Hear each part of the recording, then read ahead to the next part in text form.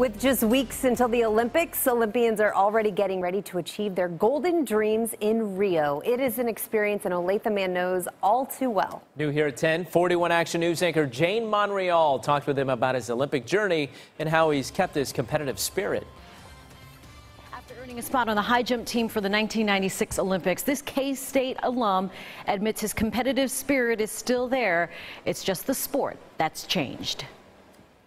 Ah, what's up, buddy?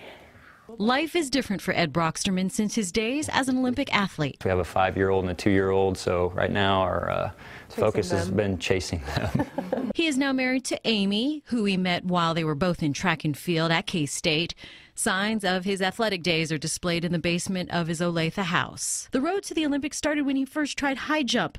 He was just a high school freshman. I was like, you know, I really, this was kind of fun, and so I started doing it. And by the end of the year, I was a state champion. And... An ankle injury sidelined Broxterman in 1996, but two weeks before the trials, a special moment inspired him to pursue his Olympic dream. It, it was just awesome to see the torch come through. The torch came right through his hometown of Baileyville, Kansas. And my ankle actually started feeling better. He became the youngest male athlete on the track and field team that year. A new personal record of, of seven feet, six and a half inches, two inches higher than I'd ever jumped in my life.